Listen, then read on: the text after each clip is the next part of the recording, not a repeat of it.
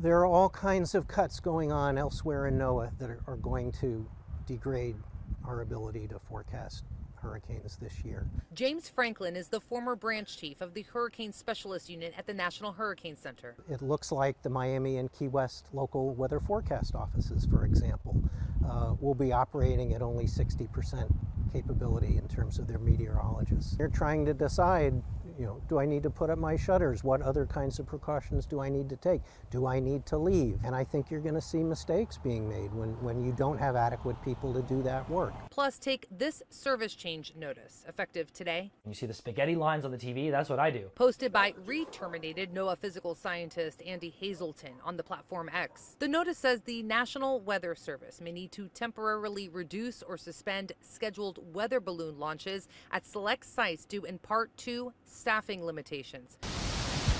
The primary source of upper air data, what the attached instrument measures pressure, temperature, relative humidity, a key component in generating computer models that forecast a storm's path, explains Franklin. Imagine a hurricane is approaching uh, from the east through the Bahamas and we have a trough coming off the U.S. East Coast.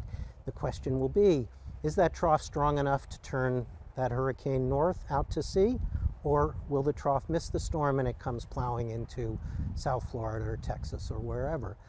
Not having some of those key balloon launch data into the models could cause the models to miss that interaction and lead to a very big error in a forecast at a crucial time. While none of these Republican U.S. senators and congressional members representing you in Florida responded to a request for comment, in a statement, Democratic Florida Congresswoman Frederica Wilson told Local 10 News, quote, these cuts don't just slash budgets, they put lives at risk.